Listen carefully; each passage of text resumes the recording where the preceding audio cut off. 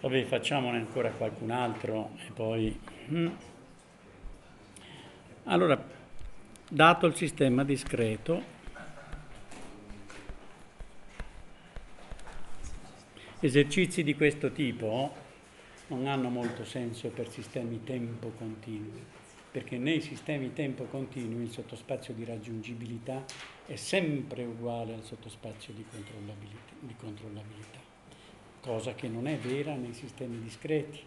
Il sottospazio di controllabilità contiene sicuramente, eh, quando siamo arrivati all'ordine massimo, hm, va bene, contiene sicuramente il sottospazio di raggiungibilità, ma virgolette può essere più grande quando la matrice A ha autovalori uguali a 0, se no coincidono sempre. Allora x di k più 1 uguale ad A per x di k più b per u di k. Noi sappiamo già, va bene, che per quanto riguarda la proprietà di raggiungibilità, il sottospazio di raggiungibilità in due passi contiene sicuramente il sottospazio di raggiungibilità in un passo il sottospazio di raggiungibilità in tre passi contiene eventualmente uguale il sottospazio di raggiungibilità in due passi e così via. Siamo d'accordo? Eh, succede la stessa cosa anche per la controllabilità, cioè è vero mm, che xc in un passo è contenuto dal sottospazio di controllabilità 0 in due passi e così via, punto interrogativo è vero.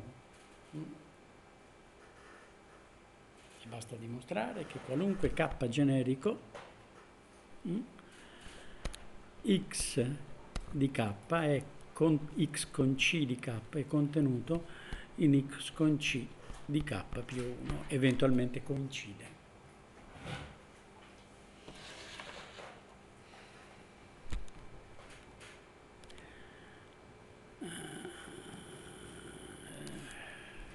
Sia x appartenente a xc in k passi, ovvero sia significa che a alla k per x appartiene ad rk che è uguale all'immagine di B a B puntolini A alla K meno 1 per B. Questo è R di K.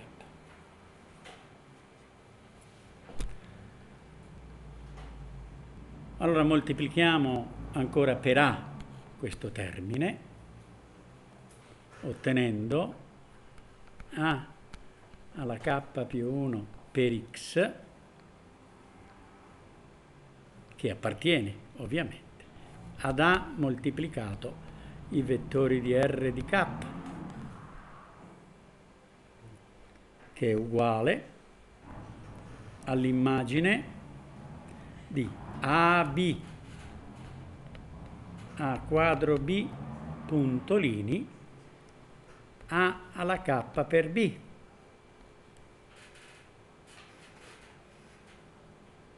che è certamente contenuto in immagine di B a B puntolini A alla K per B che è il sottospazio di raggiungibilità in K più 1 passi.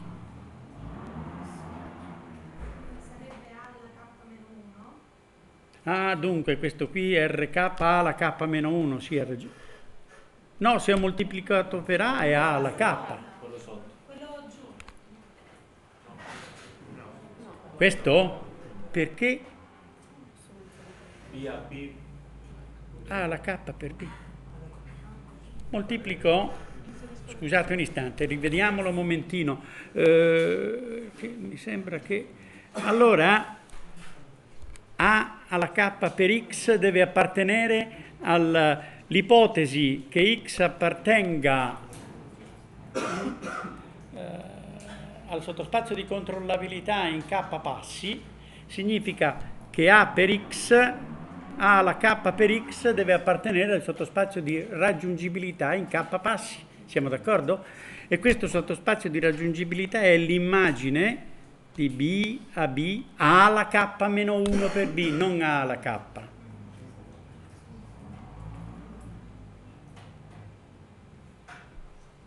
Eh, in un passo, sottospazio di raggiungibilità è l'immagine di,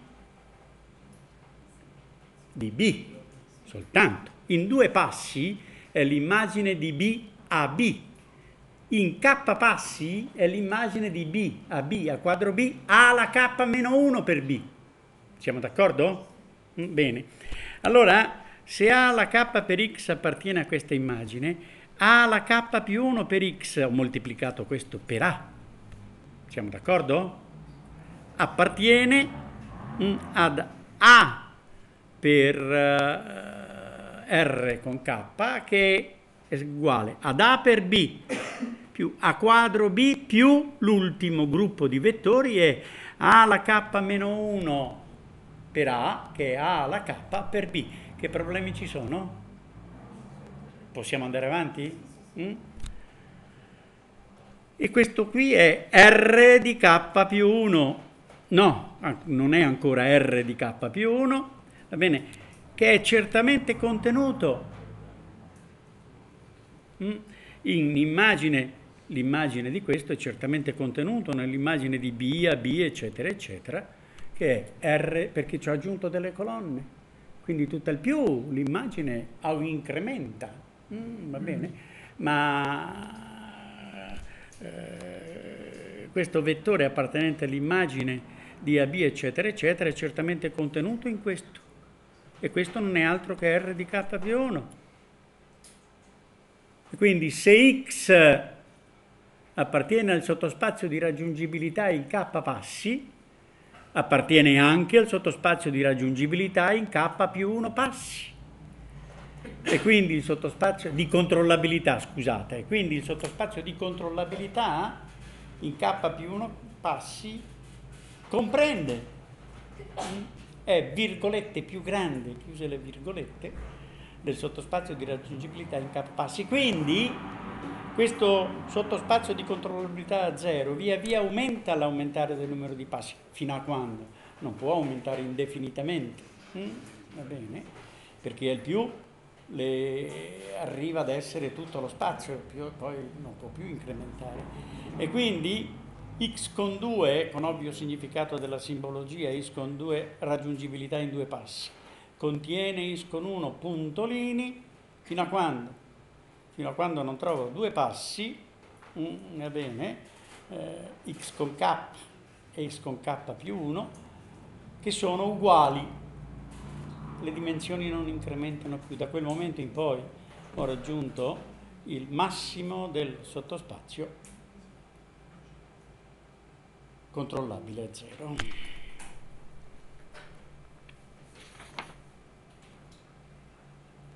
No, questo è troppo complicato ora, magari lo faremo più tardi. Sia data la seguente matrice. Per vedere quando si raggiunge anche il massimo sottospazio di controllabilità, si, si guarda il successivo se è uguale al precedente. Eh, oppure anche quando si, si, potrebbe, si, potrebbe anche vedere quando R diventa invariante. R diventa invariante, va bene, ed è il eh, sottospazio massimo di raggiungibilità. Non è vero che il sottospazio di controllabilità abbia raggiunto il suo massimo. Esempio, avete sentito la domanda del vostro collega? Mm, va bene? Eh, la, si può porre in questa maniera. Mm? Il sotto, se il sottospazio di raggiungibilità raggiunge il massimo in k passi, Mm? Va bene. È vero che anche il sottospazio di controllabilità raggiunge il suo massimo in k passi? Risposta no. Mm, va bene? Eh, si prende ad esempio la seguente matrice. Così fatta. Sarebbe vero se anche A fosse non singolare. Se A è non singolare è vero. Mm, va bene, allora è vero. Allora. Ma se è singolare non è vero. Ad esempio prendiamo questa matrice. eh, 0, 1, 0, 0, 0. Ultima riga, 0, 0, 0, 1. Quindi un blocco di Jordan di dimensioni abbastanza grande, mm, va bene, eh, associato all'autovalore 0. mm, va bene? E poi qui 0, 0, 0, 0, 0, 0, 1. Autovalori di questa matrice 0 e 1. Mm. Il B prendiamo anche un solo ingresso, sia il seguente 0, 0, 0, 0, 1, ultima componente. Che dimensioni ha il sottospazio di raggiungibilità? Dimensione 1, lemma PBH, eh, questa è l'unica componente di B diversa da 0, associato, questa è una forma di Jordan, va bene, all'autovalore 1 e quindi ho eh, un sottospazio di raggiungibilità dimensione 1. Mm?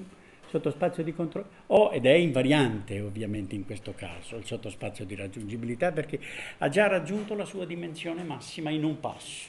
Mm? Sottospazio di controllabilità 0. Mm? Eh, quanti passi devo fare?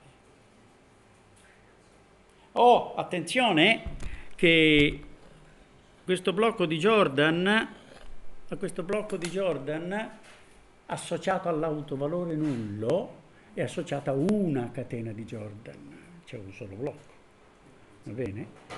Eh, il sottospazio di controllabilità è tutto lo spazio, perché è uguale inopportuno numero di passi, va bene, al sottospazio di raggiungibilità più il nucleo di A alla, alla N. Mm, va bene? Allora, quando è che raggiungo il massimo del sottospazio di raggiungibilità? Lo raggiungo in N passi. In N-1. Mm, va bene.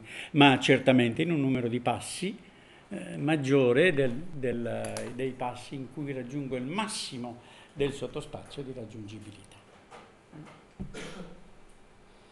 Il numero di passi diventa lo stesso tra raggiungibilità e osservabilità, va bene, se la matrice A è non singolare, allora sì.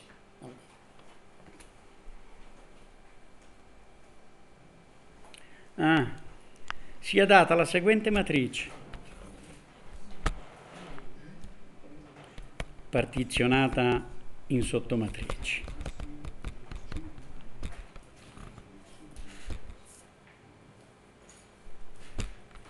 0, 1, 0, 0, 0. 0, 0, 1, 0. È una forma compagna orizzontale inferiore. Ultima riga, meno A con 0, meno A con P meno 1. Quindi è una matrice di che ordine? di ordine P, mm, va bene, matrice in forma compagna e mi sono fermato ad A alla P meno 1, vuol dire che la matrice è di ordine P. 0, 0, ancora una forma compagna, 0, 1, puntolini, ultima riga, meno B con 0, meno B con 1, meno B con Q meno 1. Quindi una matrice quadrata di ordine P più Q.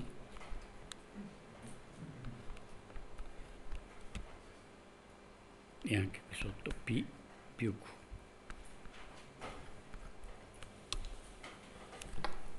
Qual è la condizione necessaria e sufficiente affinché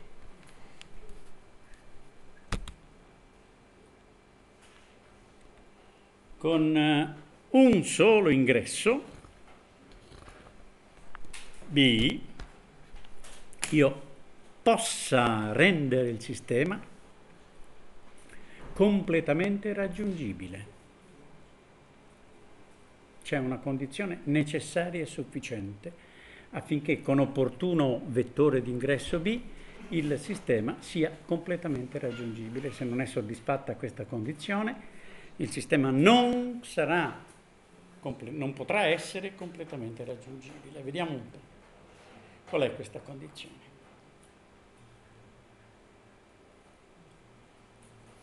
Con un ingresso, affinché il sistema possa essere completamente raggiungibile con un ingresso, la matrice come deve essere? Abbiamo detto mezz'ora fa, come deve essere la matrice? Affinché la coppia A, B, B, un vettore colonna, sia completamente raggiungibile, la matrice A deve essere ciclica, ovvero sia la matrice, tutta questa matrice quindi deve avere,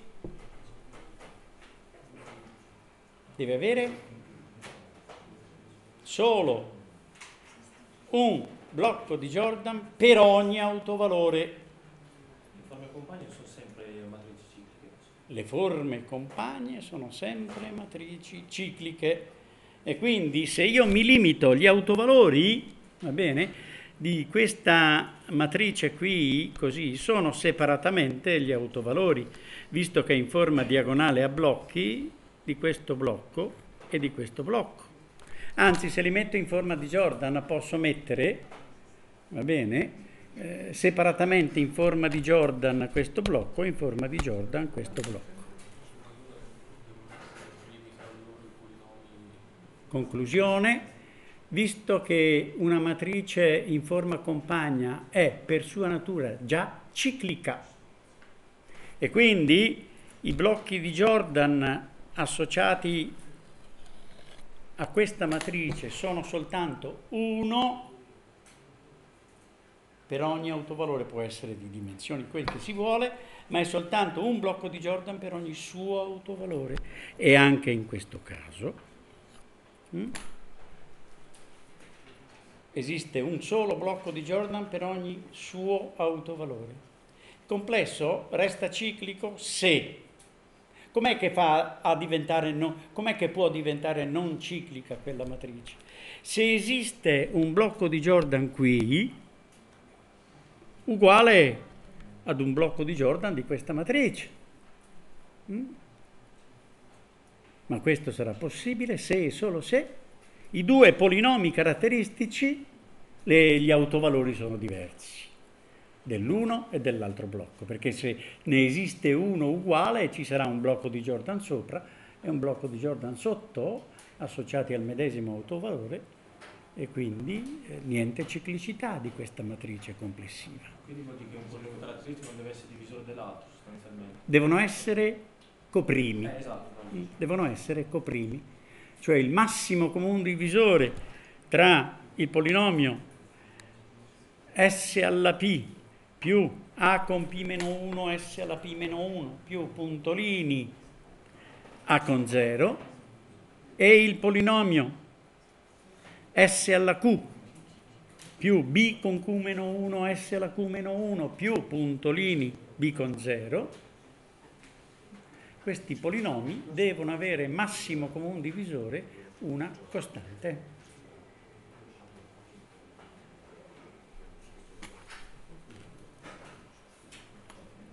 Facciamo anche questo.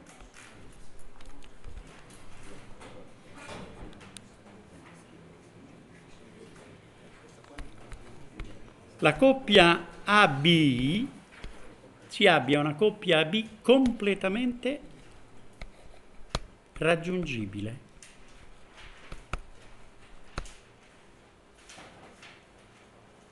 E si consideri ora la coppia A più alfa I,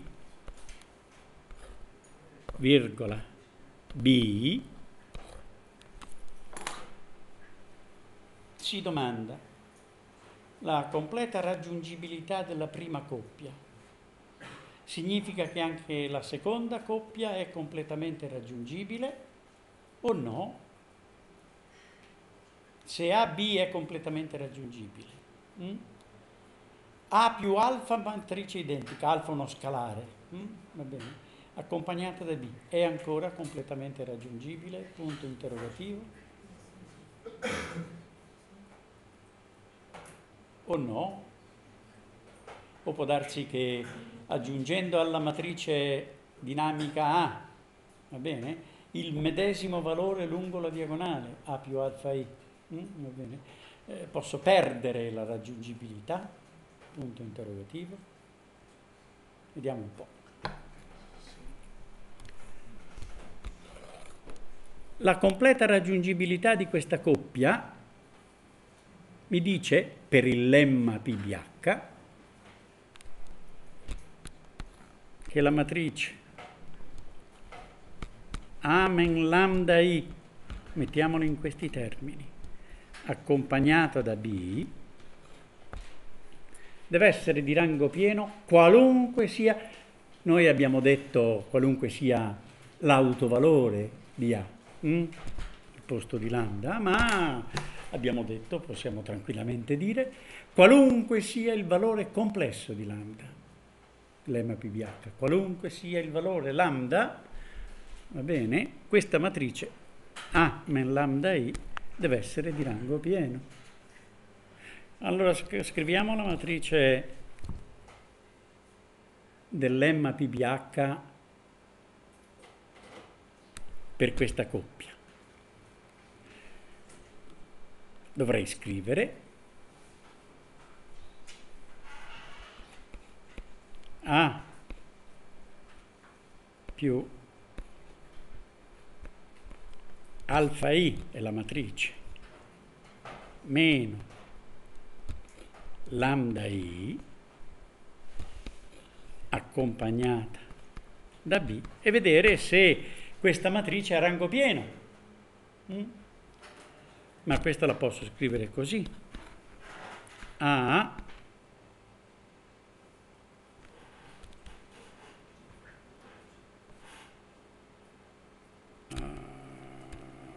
meno lambda meno alfa per i accompagnata da b. E se questa matrice ha rango pieno, mm, va bene? No, scusate, questa matrice qui ha rango pieno qualunque sia alfa, qualunque sia lambda, vuol dire che questa matrice ha rango pieno qualunque sia il valore di lambda meno alfa. Eh, anche quello è un complesso. Per cui, essendo quella matrice sempre di rango pieno, anche la coppia A più alfa I B è completamente raggiungibile.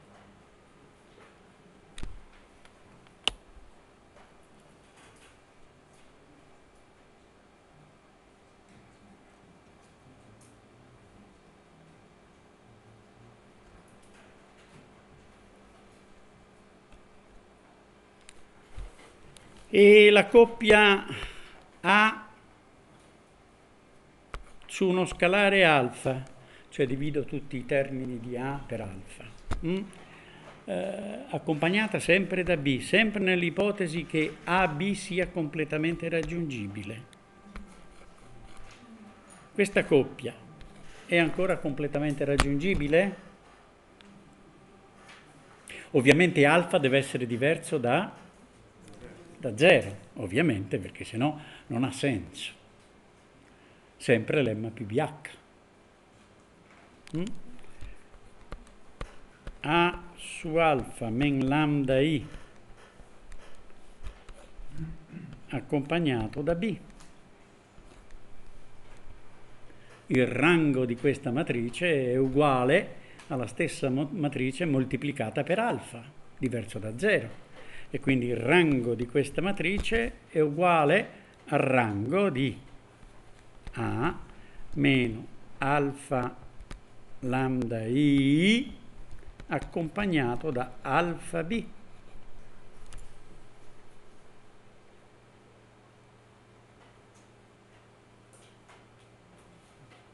Ma attenzione, io ho una matrice rettangolare mm, che avrà un certo rango. Moltiplico alcune colonne, anche tutte, ma scelgo alcune colonne, le prendo come voglio e le moltiplico per tutte per una costante, ad esempio. Cambia il rango della matrice. Il rango della matrice dipende dalla lineare indipendenza o meno tra le diverse colonne. Allora, moltiplicare un certo numero di colonne per una costante alfa, diversa da zero ovviamente, perché sennò diventano tutte nulle e cambia tutte, per una matrice alfa, non modifica la linearità, la eh, lineare indipendenza o meno delle diverse colonne, ovvero sia il rango di questa matrice è uguale anche al rango di A meno alfa lambda I virgola B. Ma questa matrice è sempre di rango pieno, perché alfa lambda è un numero complesso, quindi dall'ipotesi che la coppia AB sia completamente raggiungibile ne discende che quella matrice è sempre non singolare e quindi è non singolare questa e quindi il sistema con matrice A fratto alfa B è completamente raggiungibile.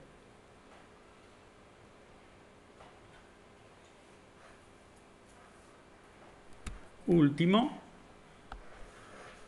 AB completamente raggiungibile.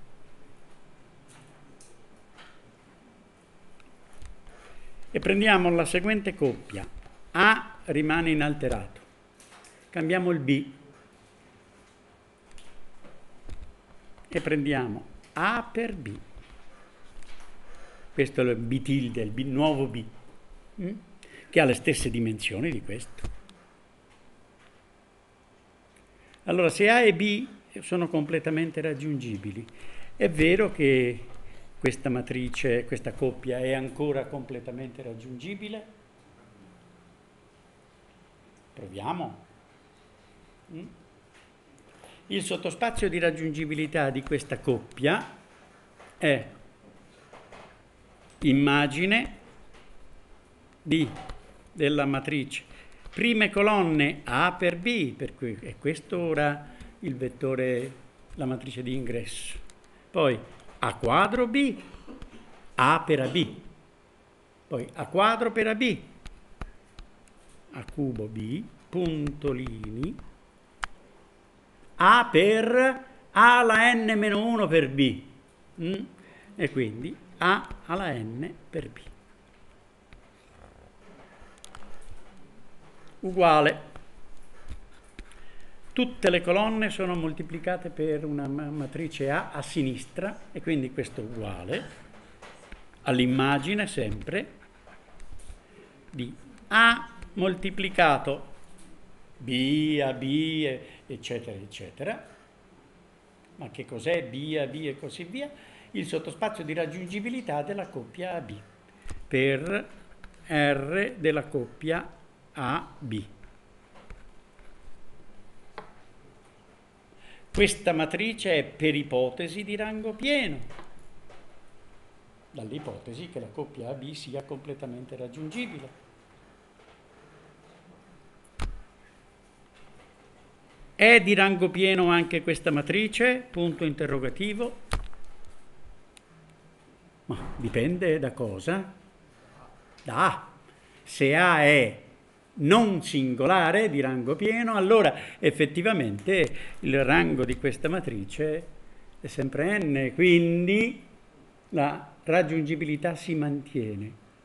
Se A invece è singolare, allora questa immagine non è più tutto lo spazio, perché l'immagine di RAB è tutto lo spazio. Però se ci applico una trasformazione singolare, va bene, non ottengo più tutto lo spazio.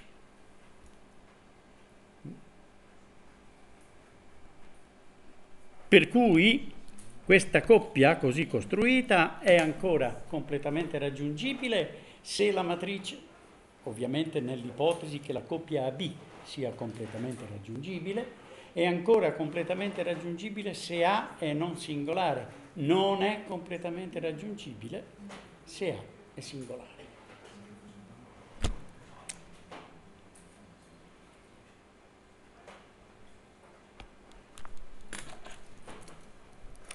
Dunque, vediamo un po' sulla raggiungibilità cosa devo, e, e controllabilità.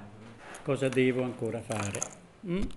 Devo ancora fare la, lo dico poi, decomposizione di Kalman. Avete mai sentito parlare di Kalman? Chi ha fatto un po' di automazione nel, eh, nella triennale ne ha sentito parlare sicuramente, va bene? Uno eh, dei più grossi controllisti e sistemisti, va bene, eh, che ci sia mai stato, sicuramente, mm, va bene, eh, è un ungherese mm, che ovviamente è finito in America, mm, va bene, negli Stati Uniti, eh, autore di... è attualmente vivente, ormai vecchio, va bene, però sempre vivente, eh, frequenta sempre eh,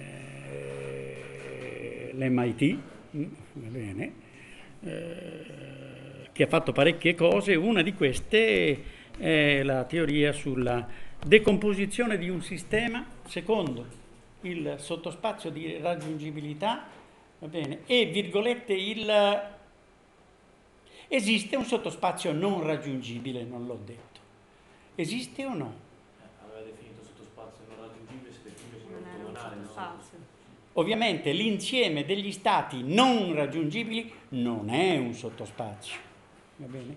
Ma è tutto lo spazio, va bene? Meno levati, va bene, i vettori appartenenti al sottospazio di raggiungibilità e ciò non è un sottospazio. Se il sottospazio di raggiungibilità fosse un sottospazio di dimensione 1, quindi una retta, gli stati non raggiungibili sono tutti gli stati meno quella retta, mm, che non è un sottospazio. Come giustamente ricorda il vostro collega, qualcuno definisce, ma attenzione, bene, come sottospazio non raggiungibile l'ortogonale. Mm, del sottospazio di raggiungibilità, dicendo che affinché quindi dicendo che uno stato non raggiungibile è un qualunque stato che abbia nella sua decomposizione lungo questi due sottospazi, l'uno ortogonale all'altro, un qualunque vettore che abbia componente non nulla lungo l'ortogonale del sottospazio di raggiungibilità. Allora, dicevo che la decomposizione di Kalman è, mm, significa suddividere il nostro sistema in due sottosistemi. Un uh, primo sottosistema completamente raggiungibile, un secondo sottosistema non raggiungibile, ma di, direi completamente non raggiungibile. Mm, va bene, il secondo, poi lo vedremo. Mm. Eh, e questa decomposizione ci servirà bene, per decidere altre cose sul controllo di un sistema. Mm? Allora, domani faremo la decomposizione di Kalman eh, e poi parleremo di reazione, dello, parleremo di controllo di un sistema, mm, bene, attraverso una reazione dello Stato sull'ingresso. E per oggi chiudiamo.